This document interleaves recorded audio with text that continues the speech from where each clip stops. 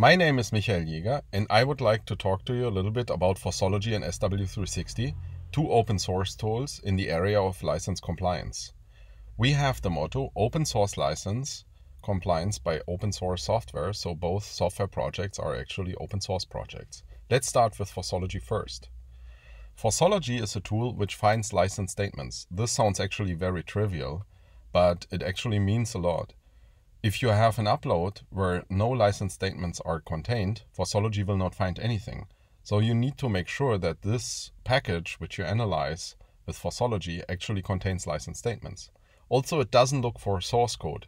If you have source code only, Fossology will not find anything. If you look for source code, the sense is to look on the origin of the found source code and you need to have a database of already published source code. Fossology doesn't have that. It just scans for licensing statements in order to analyze the package situation. Why would you need to look for license statement in a package anyway? Because many open source projects declare their licensing on their homepage. Actually, if you look inside packages, for example Apache Thrift, and you use Fossology, you will find many different licensing. And that's natural because open source software is comprised of other open source software, or open source software is comprised of contributions by different parties, and maybe they have used different licensing. Also, if you look, for example, at the very famous open source project, the Linux kernel project, you will find, depending on how you count it, up to 30 distinctive licensing, licensing statements. Fossology is, in fact, a quite old project. It was published by Hewlett Packard in the year 2008 and it was licensed under the GPL 2.0 from that on. Today it's still available under the GPL 2.0. At the time when Hewlett Packard was publishing it, they were scanning the Linux distros they have used for their printers, scanners, and so on.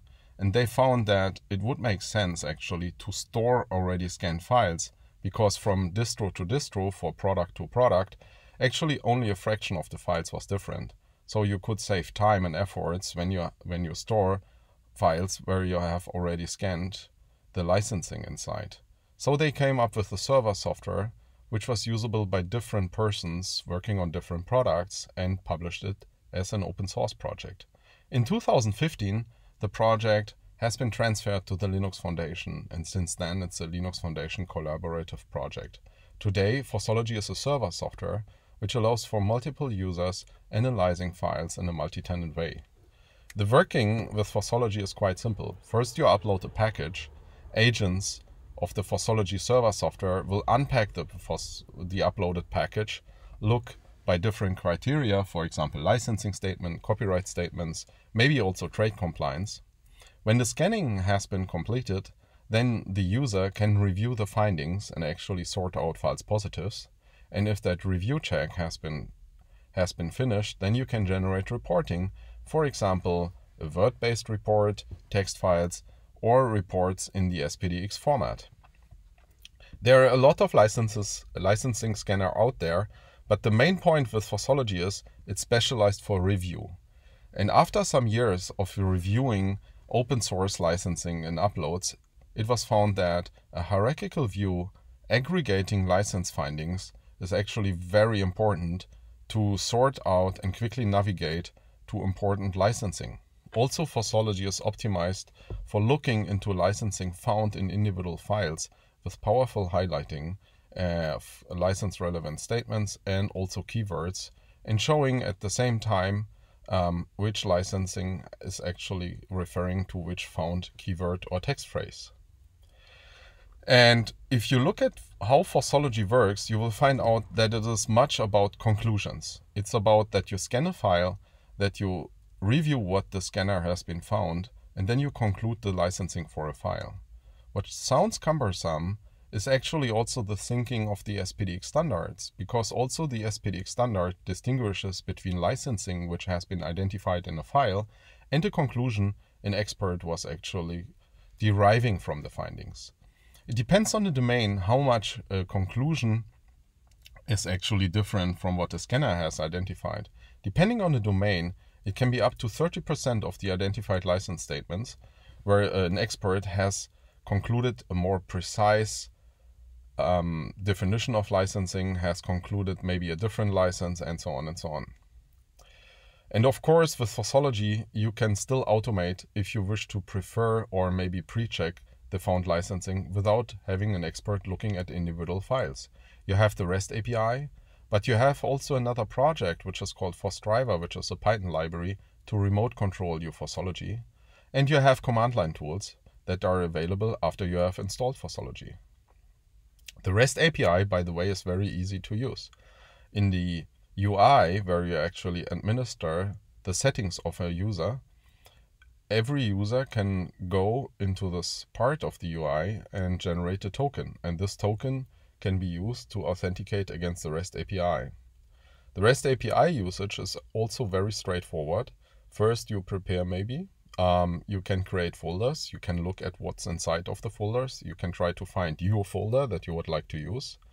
Then you schedule scan jobs, depending on your choice, only for licensing, for licensing and copyright statements, and so on. Then you observe how long actually the scan job take. It's a long running thing, so it's not really that you have a request and then you, get the response back. And after the scan jobs have been finished, you can download different reportings. There are more Fossology projects. For example, you have Atarashi, which is a novel license scanner only. It's not really a UI project, it's a command line scanner. And we would like to build a new scanner module with Atarashi which is based on information retrieval metrics. The old way of finding licenses is by text comparison or maybe using regular expressions or keywords, but we found that also a new technology can be helpful, which was derived from information retrieval working on text statistics. Another open source project is about Fossology Slides. So Fossology Slides is a one-day course which has been published to the public on GitHub, where every party can actually take the slides and give their own trainings about Fossology. And another project that you will find in the Fossology group on GitHub is Fossology ML, which is just an experiment how useful machine learning would be for license identification. If you like Fossology, check out fossology.org or check out the GitHub pages, and maybe you would like to also start this project. If you like Fossology even more and maybe use it, consider also to put your organization logo on the Fossology homepage because it helps to um, actually support the credibility of Fossology, which is very important for a licensed scan tool. So far for Fossology. Um, I hope you have questions. Feel free to contact me. And now I would like to switch over to SW360. SW360, an open source component hub, came from the idea that in a larger organization, you have multiple systems which deal actually with software components.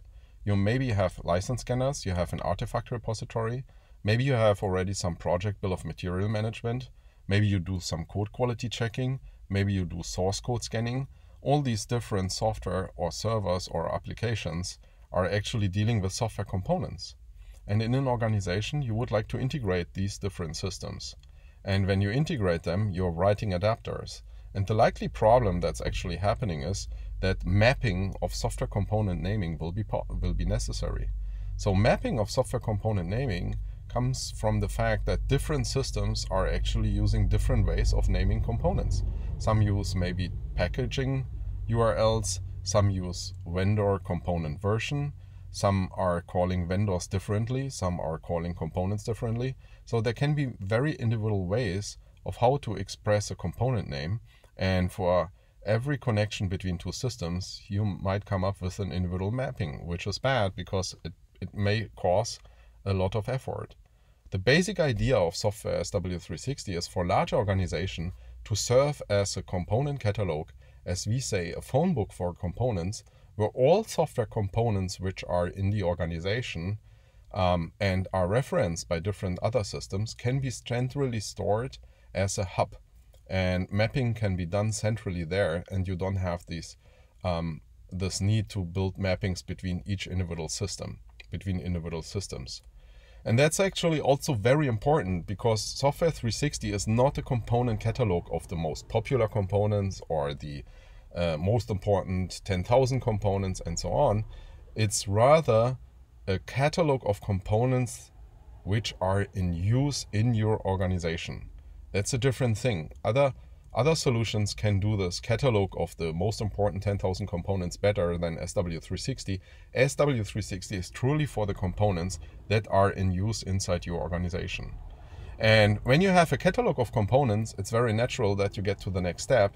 Imagine that you have different projects or products in your organization.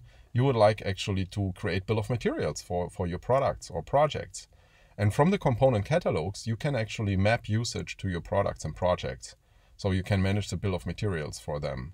And that actually enables a lot of other use cases. For example, not only for open source licensing to create license documentation for a product, but also you could track vulnerabilities, you could maybe care for trade compliance, you could maybe find out about the use of commercial software inside your products, and so on and so on. That's the basic idea of SW360. It focuses on the component, on the components which are inside inside your organization, and based on that, it maintains bill of materials for your projects and products. And with a bill of material, you can run all the use cases which you would like to have when you distribute your products. SW360 is also very open. Not only it has a REST API, but it uses the SPDX um, files for, for example, importing licensing information to generate the license documentation for a product. And by using SPDX, it's actually very independent from Fossology. If you have another license scanner or other compliance tools which generate SPDX, it's no problem for SW360 because it's just relying on the SPDX file. And um, also recently, as uh, it was added to SW360 that you can that you can also upload the bill of material of SW uh, of uh, in SPDX. And SW360 is not alone. As a companion to SW360, there is Antenna, also an Eclipse project. And SW360 Antenna is not an application that runs its, uh, on its own, it's rather a collection of command line tools or modules, for example, for Maven based build projects, which are helping you to generate the bill of material and use the REST API in SW360 to transfer the determined bill of material. At the same time, for example, in the Eclipse ecosystem, there is Steady. Steady is a new project in the Eclipse Foundation, which takes the bill of material and can maintain vulnerabilities and also even more um, can, for example, find malicious code in your software project. And if you look into the Eclipse Foundation, there is also a great framework for IP due diligence when you are in the role of publishing a new project as a project of the Eclipse Foundation. There is an office and there are processes defined which give you guidance and also support to be license compliant and deliver with your Eclipse project's license compliant software. So that was it for SW360 and before that Fossology. I hope that this introduction was a help to you and please feel free to contact me in case you have questions.